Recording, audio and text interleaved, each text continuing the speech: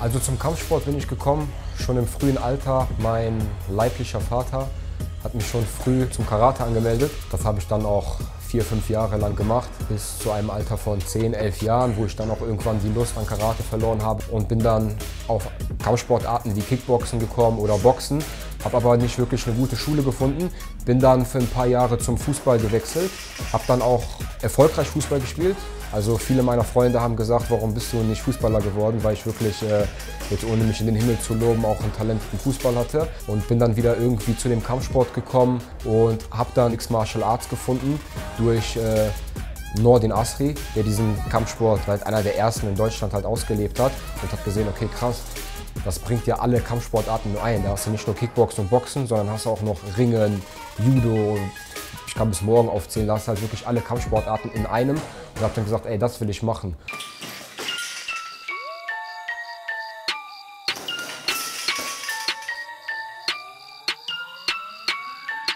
Witzigerweise einer meiner besten Freunde, das ist der Shakir und der Sufyan Hachadu, das sind die äh, Neffen vom Nordin, was ich gar nicht wusste, weil wo ich denen halt erzählt habe, ey, ich will äh, MMA machen, damals hieß es noch mehr Free Fight, weil das ist alles, was ich erzähle, schon über zehn Jahre her, haben die gesagt, komm doch mal mit zum Training.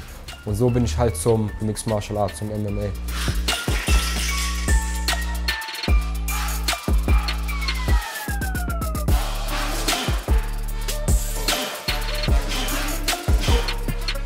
Meine erste Trainingseinheit kann ich mich äh, ganz gut erinnern.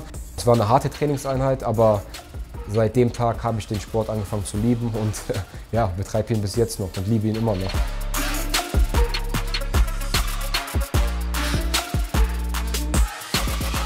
Ich bin nicht der beste Boxer, ich bin nicht der beste Kickboxer, ich bin nicht der beste Ringer, aber ich beherrsche von allem ein bisschen. Klar, wenn du dich jetzt mit einem reinen Boxer messt, ich gehe in meiner Vorbereitung in ein reines Boxstudio, wo wirklich reine Boxer sind, die wirklich von montags bis freitags oder Samstag nichts anderes machen als Boxen. Klar sind die mir überlegen in deren Disziplin. Klar, wenn ich zum reinen Ring gehe, wenn ich mit einem reinen Ringer mache, der auch von montags bis freitag nichts anderes macht als Ring, der ist mir auch überlegen in seiner Disziplin. Aber wenn du alles zusammenbringst, würde ich sagen, ich kann von allem etwas.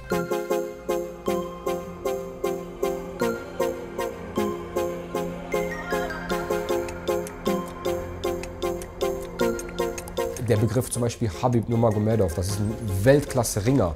Aber ich kann mir nicht den Style von Habib Nurmagomedov angucken, nur weil er jetzt, sage ich mal, mein Vorbild ist und jetzt genauso kämpfen wie er. Anders wiederum wie Conor McGregor. Conor McGregor ist ein guter Standkämpfer. Ich kann aber nicht sagen, okay, ich will genauso kämpfen wie Conor McGregor. Ich muss vielleicht gucken, okay, der Style von Habib Nurmagomedov gefällt mir ein bisschen, der Kampfstil äh, von Conor McGregor gefällt mir ebenfalls und ich versuche so alles so zusammenzubringen, aber im Endeffekt muss ich meinen eigenen Style finden.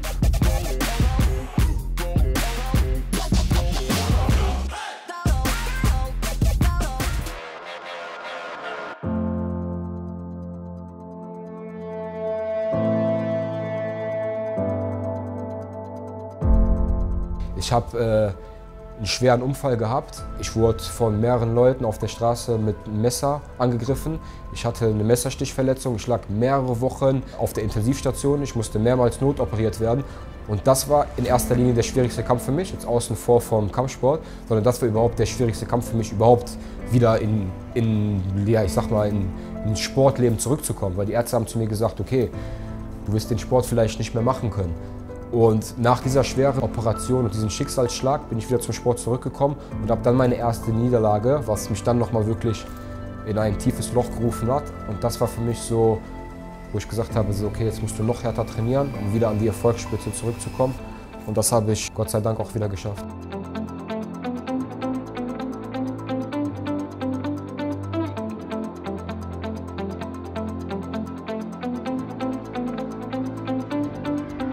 Kann von dem Sport leben, aber ich will sagen, okay, ich will nur von dem Sport leben. Und äh, Sky is the limit. Bei dem Sport geht es immer nur weiter nach oben. Ich meine, ich habe es mir damals als Ziel gesetzt, in den Top 5 in Deutschland zu sein.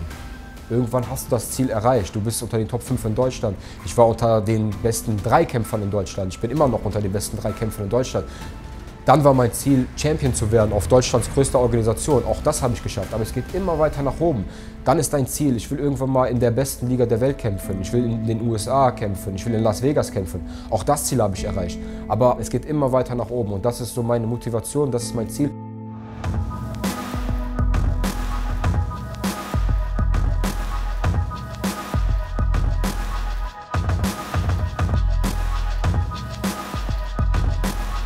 Also jeder, der mich mal gefragt hat, was ist das für ein Gefühl, überhaupt im Ring zu stehen? Was ist das überhaupt für ein Gefühl, gewonnen zu haben? Da kann ich zu ihm sagen, oder ich sage zu jedem, das ist ein Gefühl, das kannst du niemandem beschreiben, das Gefühl musst du selber erleben. Und das war mein schönstes Gefühl, mein erster Sieg bei meinem ersten Kampf. Da war ich 17 oder 18 Jahre alt. Aber was ein noch viel schöneres Gefühl war, wirklich auf Deutschlands größter Organisation wirklich der Titelträger zu sein. Weil da kannst du wirklich sagen, ich bin in meiner Gewichtsklasse oder ich gehöre wirklich zu den Besten in meiner Gewichtsklasse in ganz Deutschland. Da kannst du wirklich sagen, ich habe es ja, schon geschafft.